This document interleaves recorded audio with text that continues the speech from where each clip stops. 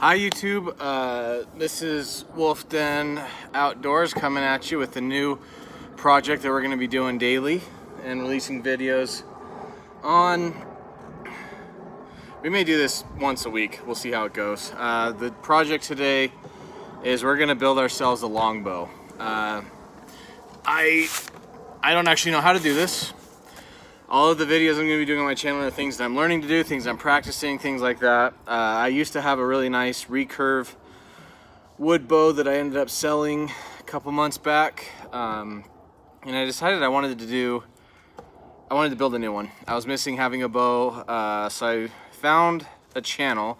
So give him a shout out, it's Kramer Ammons. Uh, I'll post his link down below. This is actually a video of his where he talks about making a longbow from uh, commercial grade store uh, store-bought uh, hardwood lumber. And in his video, he used poplar, but in the notes it's noted that uh, later he found out poplar's too soft to make a good bow. So I went ahead and bought a piece of oak. So this is my one by two oak stave, more or less. Uh, these are all kiln dried, so it should be good to go. It's nice and flat, which will be good. Uh, so the goal for today is gonna be simple. It's gonna be marking out, measuring out, and cutting out everything I need to do, and then gluing in the handle. Because obviously, I mean, the bow, this is the way the bow goes, so the bow's actually shot this way. So you look at it, there's only three quarters of an inch here. There's not a lot for a handle. So what Ammon, or what Kramer did, is he used, he cut the piece of board down, and then used a piece of the cutoff to glue in as his handle so it was all the same wood. I like that, but I had a piece of this gorgeous Kokoboro sitting in my garage from a project about a year ago and it's just been sitting there. I've been dying to do stuff with it. I've played a little bit with the end here, routing some edges, mangling some stuff, seeing if I could cut it and split it. Like I, I played around with a bit of this, but this is just gorgeous wood. I mean, you look at this grain, it's almost, it has a little bit of a shine, like an iridescence to it. Um, and some nice reflectivity. I think this would pair very nicely with the beautiful white light color of the oak. So I'm actually going to use a piece of the Kokoboro and glue that together as my handle. So we're going to go ahead and get going with this today. This project is going to include just a few very, very basic materials. I could use power tools, things like that. I'm kind of one of those old purists, I don't want to. And I, um, I mean, when you're talking bushcraft and outdoors, you're supposed to be making stuff with knives, hatchets, things like that, right? So obviously I've got a couple of measuring tools. Um, I got a measuring tape so I know how long I'm marking everything. And then I actually have a uh, slide square ruler that I'll be using just for making straight, making sure I'm making lines perpendicular for where I need things to be for glue up and cutting and things like that. Uh, for a saw, we are going to be using a Japanese handsaw. These cut on the pull rather than on the push. So you usually get a much straighter cut. They have a rip saw for ripping down long boards and then a crosscut saw on it.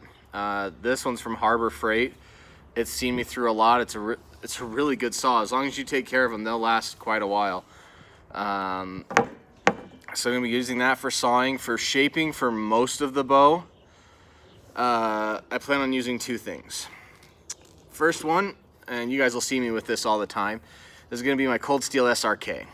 And uh, I'm probably gonna use this more when I get around to marking out the handles, uh, cutting out the arrow notches, things where I need to actually take some good chunks of wood out. Um, and perhaps even on the ends when we're marking down the, uh, where it tapers down into the points. But we'll get into that in a little bit. And then other than that, for shaving down, normally people use a draw knife. Uh, I don't tend, I don't have one of those right now. Uh, what I do have is a spoke shave. I picked up one of these on Amazon for I think 12 bucks. This thing does wonders. Takes time because it's just like a planer, so it takes off a little bit at a time. But when you're making a bow like this, you do want to take time. If you take off too much material, it can be problematic. So that's basically the tools I'm going to use. One of the options I did see, I'm gonna use a big piece of wood for this, but what I saw somebody do to make a draw knife if you didn't have one is actually take your knife And let's say, you know what, for kicks and giggles, I'll actually make one. So rather than using this entire eight foot pole, I'm gonna go ahead and quickly saw through this.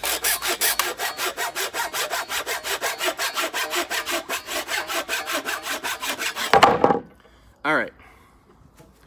This is just a piece of pine I had lying around. It actually, I used the big long part for stoking a fire and stuff. You're supposed to take your knife and put it vertically like this into the piece of wood. You know what, rather than hitting the knife, that was a bad idea because if I hit this and that wood moves, I'm gonna go right down on that blade. So I'm going to do the opposite. I am gonna put the wood on the ground and I'm gonna press this thing in there.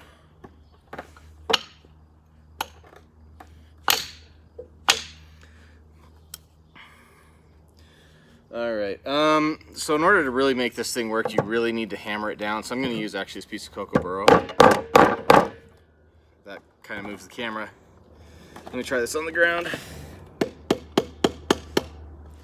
All right, so by wedging it in like that, we're now able to kind of grip up here.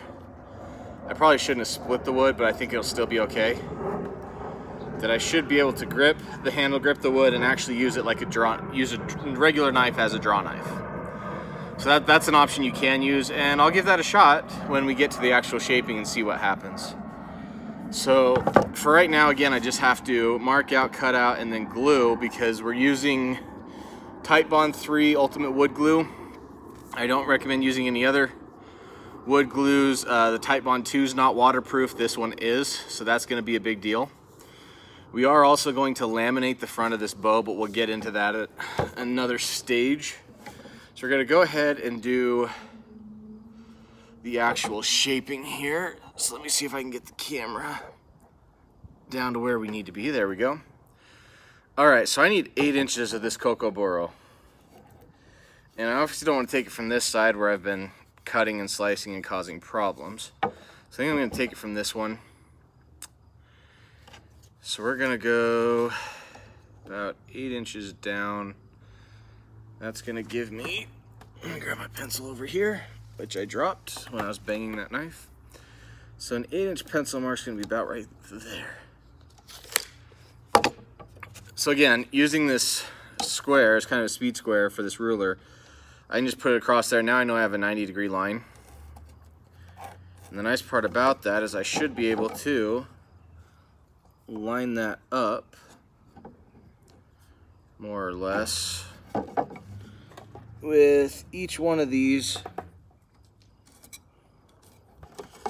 and get myself a perfect line that goes all the way around this cocoa burro. It's hard because I got the line on this side where you guys are at, so it's a little bit harder for me to see what I'm doing, but there we go. So now we just have to cut this piece out. The camera wants to move a little bit today. Let's see if I can't fix that a little bit. It's up just a little too high.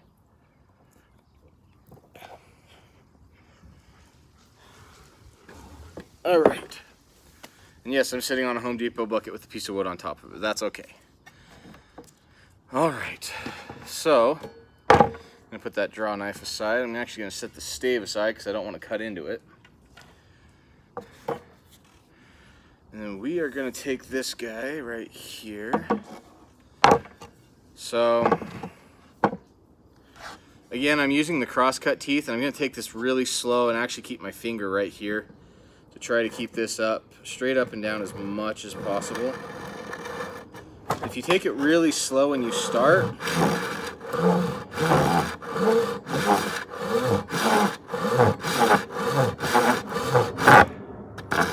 because it's on a pull, you get a much more consistent cut. And see how nice and straight that is? That is a gorgeous, easy one and very thin kerf which means this metal is not very thick. Uh, it's pretty flimsy and thin, but it means when you cut, you're not taking out a bunch of material. So we're gonna go ahead and continue.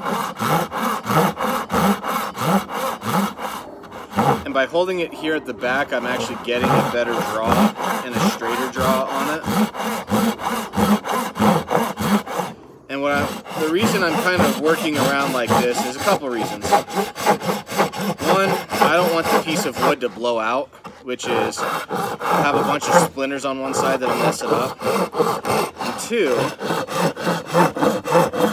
by cutting it in this fashion, I'm actually maintaining a fairly consistent line that goes all the way around to ensure that these top edges, when, when this edge actually glues up, it's going to be a very nice straight edge on the on the glue up. So get back to this. I've only got a little bit left to really work through, which is the nice part. Make sure I have the right teeth. I had the rib teeth in there. That wouldn't have worked. All right, so.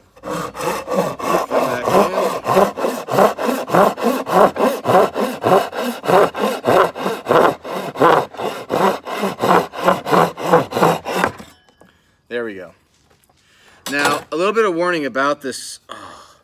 See, it's funny, it's all orange on the outside, but if you actually look right here, it's almost a purple color. I don't know if you guys can see that very well or not. But this has like some purples, it's got some oranges, it's a beautiful, beautiful wood. If you are using this, please be careful. Uh, some people are very sensitive to the dust, so when you're sanding, and when I get to sanding near the end, I will have a mask on and a respirator because people can be very sensitive to it. And the last thing you want is to wind up breathing in a bunch of dust that makes you sick. So that's gonna be the part of our hand that's gonna be laminated. Obviously that's a real nice size, that's eight inches. So, it's time to mark out the big bad boy.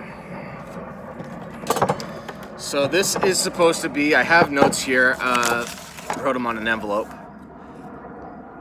The overall length is 64 inches. So if I measure from one side out to 64 inches, that gives us to right here. All right. So again, uh, the way Kramer does this is this section right here is actually, because it's a six foot board, uh, if you go out to 64, 64 plus 8, 72, 72 inches is 6 feet. So this part right here is actually all you need. You don't need an extra set of wood. I just, I wanted to do something a little special with mine in the process of making it, which might be a waste of very expensive wood because the Kokoboro is kind of spendy. So I think a one by four board that was like three feet long that I, or two feet long that I bought was like 40 bucks. Um, but it was, it was for another project for my wife. So there's our cut line. Putting an X here to tell me that's done. Now we want to find the center line. Um, I will go ahead, there's little screws here in this table I need to grind off. In case if you were wondering why I just jumped, I just dragged my finger across the screw. So I'm going to go ahead and cut off this tip here. I don't have to mark all the way around like I did at the Kokoboro. I just wanted to do that to show you guys how it's done. But you can actually get a very, very decent straight cut off of this without that. So we're going to go ahead and get through this oak real quick.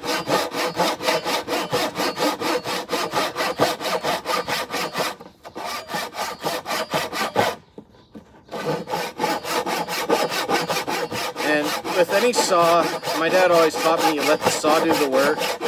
There's not a whole lot of, especially when you're trying to get these straight and finer cuts, like with a saw like this, you don't want to do a whole lot of pushing down. You don't want to really crank on the saw. That's what's going to get you some weirder cuts versus just letting the teeth do the work and cutting through. That's really going to get you the best results. On something like this, it does take off very little material at a time. So, like right there, I had a little bit of tear out, but it didn't tear out onto the onto the working end of the board. It tore, tore out on the other side, which is fine. But if this had been our handle, I mean, we still had a pretty clean break. I mean, it's a, it's a relatively straight cut. It's a little bit off, but not enough to where I'm, I'm not really worried about it. So we will not need this for the rest of today. But again, so here's the Cocoboro and here's the oak right next to each other. Cocoboro is actually a little bit thicker. So I think that's gonna play to my advantage, give me a light. I got big hands, so that's gonna give me a little bit extra room for a little bit bigger handle when I start shaping it. But essentially you can see they're both eight inches. So it would work, you don't need this. You can just use the oak handle and go oak to oak and create that nice handle. I mean, that's gonna be a, that would be a gorgeous handle too, to be honest. So, all right, now what we're gonna do, come find my measurements, is I need to go to the halfway mark and find the center. So half of 64 is gonna be 32. Conveniently right there in the front of the camera. So we're gonna say 32 inches is about right there. So we're gonna, again, using this to give us nice straight lines all the way across. I'm gonna put a C through here to mark that that's the center of my board. Um, and then the center line, I'm gonna trace these back across, at least to the back. And the main reason for that is, so there's actually two terms. There's the back of the bow and the belly of the bow. The back of the bow is actually the part that faces out when you're shooting, which I'm actually gonna be, have be these parts where I'm making the notes. And that's mostly so I can see them after I've glued on the Cocoboro. I don't wanna like make all my notes and this is the center line and all this stuff and then put the wood right over the top. That would be bad. So then we need to go an inch and a half in and make a mark. So the nice part about this slide rule is it allows me to move so I can go right here, or an inch and a quarter, sorry. So an inch and a quarter up, so that's actually, that means this is gonna be the top end of the board down here. I'm actually gonna go ahead and come down here because I'm gonna forget. I'm gonna write a little T up here. That's just gonna let me know which direction's up. I can look for the T. So again, inch and a quarter, up from the arrow rest here. So if I match this into the board, I'm at an inch and a quarter right here so I can come up. So this is to be where the arrow rest is to be located. Um, I'll go ahead and lay out everything and then I'll transfer the lines over afterwards. So uh, that's going to be the inch and a quarter. Now we need two inches, which conveniently happens to be right where my uh, thing was set. So I need to go two inches from this line up. And so right there. And what this is going to give me is the fade outs. And that's obviously the handle is not going to be an inch and a half thick. It's going to be more along the lines of say this thickness of this pine board which I believe is about an inch wide so we have to take off some on each side right here you can see there's some extra on each side that needs to come off but you don't want to have a square steps you don't want to have the handle here and then it just step off and be a square hard shape so what we're going to do is we're actually going to have the arrow rest here and then it's going to be a fade out from where the arrow nock is, it's going to fade out and up to these uh, pieces up here. So then we need to come down two and three quarters of an inch. This will give us a four inch handle. So if I come down from here, two and three quarters inches is right there.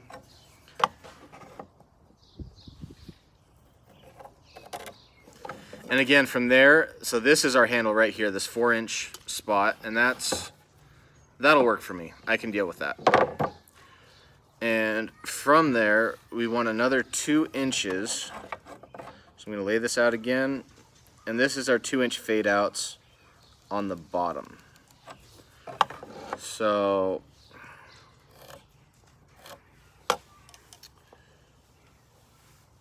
So that's basically, that's our handle layout right there. And now all I really need to do at this point is in transferring, I need to transfer out where the fade outs are. So that gives us a full eight inch handle. So I'm gonna go ahead and transfer these, these two marks.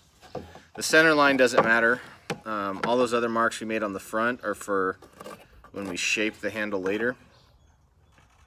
I just really need to know at this point where I'm gonna be putting this handle. So I've got these two marks laid out here, as you can see.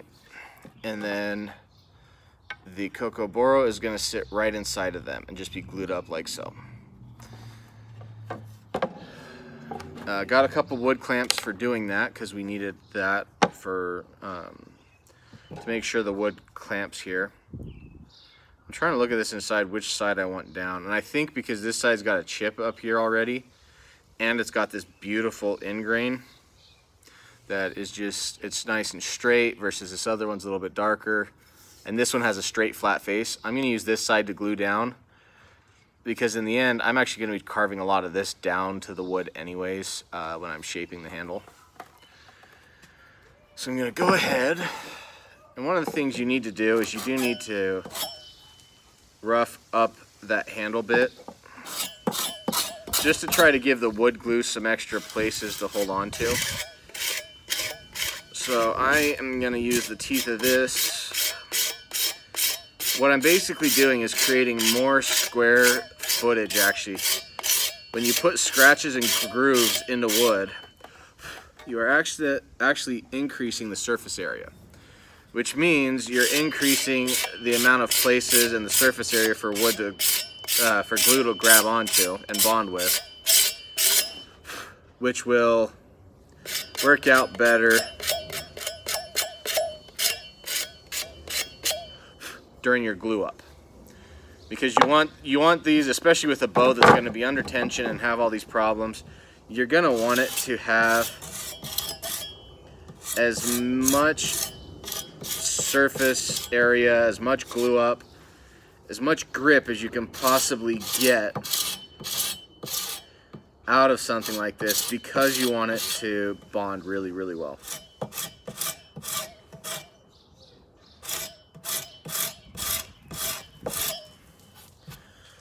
All right, I think those were both good enough um, for now.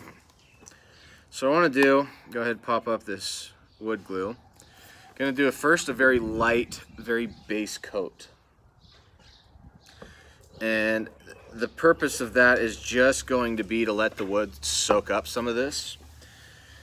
It's very common when dealing with these glues, I'm just gonna go ahead and use this piece of oak to kind of rub it in, is that the wood glue, the wood actually soaks up that first layer of glue a little bit. So you want to make sure it's nice and evenly spread, but you want to let the wood glue, or the wood and the glue get soaked up together just so you get that much better of a bond. So actually I've got enough here I think that I can actually for the most part get my first layer of glue mostly I mean this first layer is just supposed to be a little light layer to let it soak in so I'll get this first layer on here just using what was left on that stick Alright, so we got that all nice and coated. We'll go ahead and talk about next steps while we're letting this stuff kind of tacky up a little bit. So once this tacky gets tacky, we're going to go ahead and um, let it glue. It's got to glue up for 24 hours, so it'll be perfect for tomorrow night, ready to go.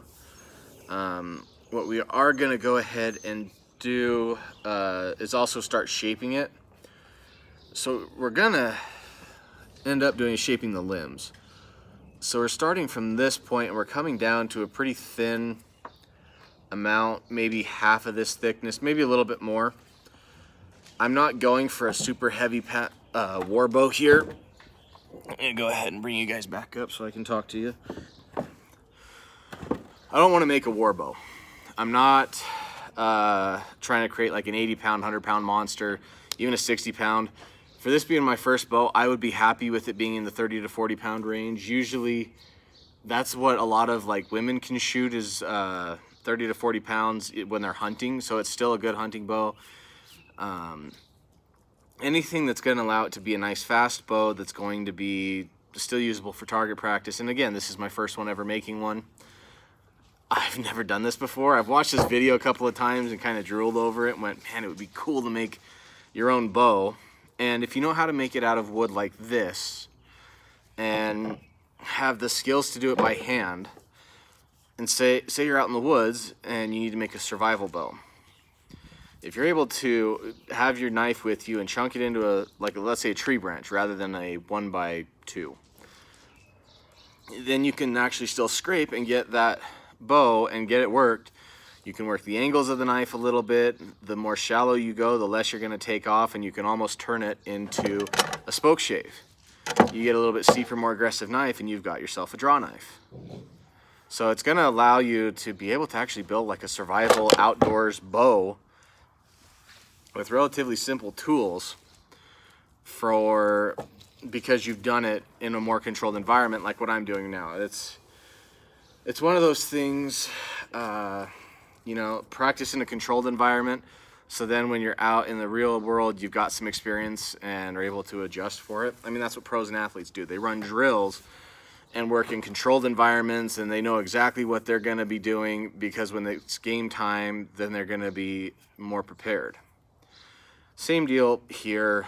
Um, so we're going to go ahead and check this wood is it's kind of tacky. It's not huge, but I, I think it's I think it's about as tacky as it's going to get. As I'm rubbing this on, I'm realizing that this stuff, when it dries, is waterproof, and this might not be such a good idea to have on my skin. So, gotta wipe that off for sure, because that could be problematic. And then the, it's, it's kind of a cool day. It was rainy earlier today, so it's not, this one's almost dry. So we are gonna go ahead and the sun moved behind some clouds. I can actually see. So we're gonna go ahead and uh, glue both of these down together. And then that'll end the video because we'll, we'll let this cure and then we'll get back to this tomorrow. I'm gonna go ahead Hey, guys, come on. Bo, Ty, knock it off. The dogs are wrestling. So I'm gonna go ahead and use this oak. The nice part is even if when this glue dries, I can always sand it off and I can still use this piece.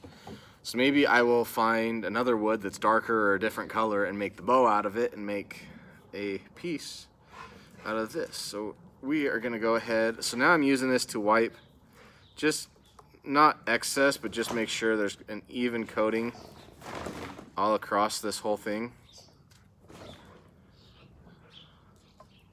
Now we've got a nice, good, even coating of glue all the way to make just to make sure this handle has the most opportunity to bond. All right, so we've got our glue side of our Kokoboro. I'm gonna place it down right there, try to center it. And now I've got a couple of clamps here. This one, I love these. I wish I had more of these. This is a DeWalt clamp. It's seen a lot of use, a lot of abuse. It's a little rusty. It's been used indoors and outdoors. This thing does 600 pounds of pressure. Or maybe it's 300. Don't quote me on that. I, I know it's a lot. I've been I, have used this thing for a bunch of other things, including car maintenance, including you know just a bunch of things where I need to exert a lot of force just by gripping. It exerts a lot of force. So we're gonna use it to exert a lot of force on this clamped glue wood joint. Now one of the tricky parts about clamping a wood glue joint like this is getting your pieces lined up when you clamp because they want to move around a bunch because it's uh, there we go because of all the wood glue and stuff, it can be real easy for them to kind of slip and get some differential. So there we got it clamped on one side. On the other side, I've got a massive three foot clamp, but it was just what I happen to have out here in the yard right now.